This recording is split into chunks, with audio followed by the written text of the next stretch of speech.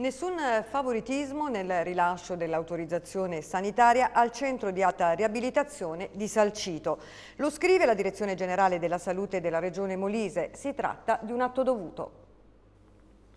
Sulle polemiche innestate in merito al centro di riabilitazione Paola Pavone di Salcito interviene la Direzione Generale della Salute della Regione Molise. Nessun favoritismo per il centro di alta riabilitazione Paola Pavone, ma mero assolvimento degli obblighi istituzionali nel rispetto di un regolare iter burocratico. Così la Direzione Generale per la Salute della Regione Molise in risposta a quelle che ritiene infondate accuse rivoltele in merito all'autorizzazione dell'attività di riabilitazione della suddetta struttura. La discussa determinazione del direttore generale, prosegue la nota, rappresenta un provvedimento con cui a fronte della richiesta legittimamente avanzata da una struttura privata si autorizza come in altrettanti casi analoghi l'esercizio di attività sanitaria che ricorda alla direzione generale solo il primo passo che precede l'accreditamento e poi gli accordi contrattuali. L'autorizzazione prevista specifica quale atto volto a consentire l'esercizio di attività sanitaria sanitarie da parte di soggetti pubblici e privati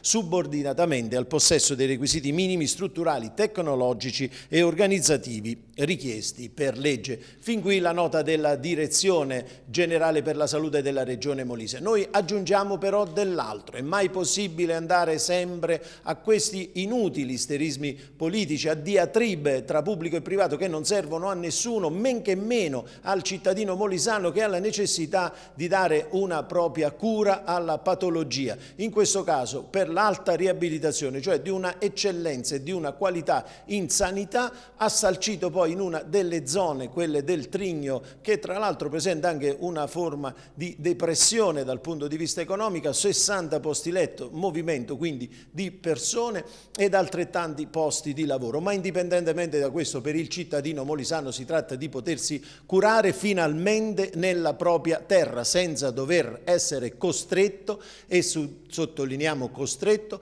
a dover uscire fuori regione per qualsiasi terapia di riabilitazione. Questo riteniamo che sia un atto negativo per le casse della regione e altrettanto negativo per le tasche del cittadino che paga le tasse in Molise e quindi è costretto poi a doversi invece portarsi fuori regione e pagare spese di albergo, di benzina e di quant'altro. Invece può curarsi questa, con la terapia di riabilitazione di eccellenza e di qualità in propria, in, nella propria casa, in questo caso a, a, Salcito, a Salcito. E allora perché andare a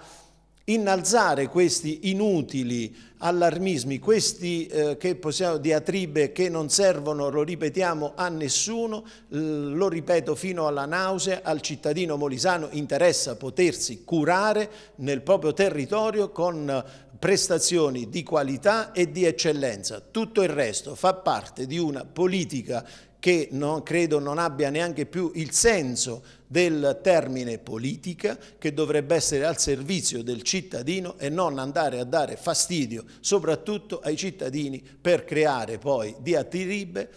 e delle, degli isterismi politici che non servono e soprattutto, passateci il termine, non curano le patologie, così come invece le strutture che possono aversi, quelle sanitarie sul territorio, devono dare risposte di qualità e di confermata efficienza ed efficace perché la salute va difesa ed è un diritto del cittadino, molisano e non, ma in questo caso molisano, che non deve essere costretto a doversi portare fuori regione, siamo nel 2017, anche per una semplice lampadinella per la cura riabilitativa o per una terapia riabilitativa. Cioè in questo caso Salcito, come ci sono anche altre strutture, beh, magari ce ne fossero anche altre, perché il cittadino molisano possa curarsi tranquillamente in Molise.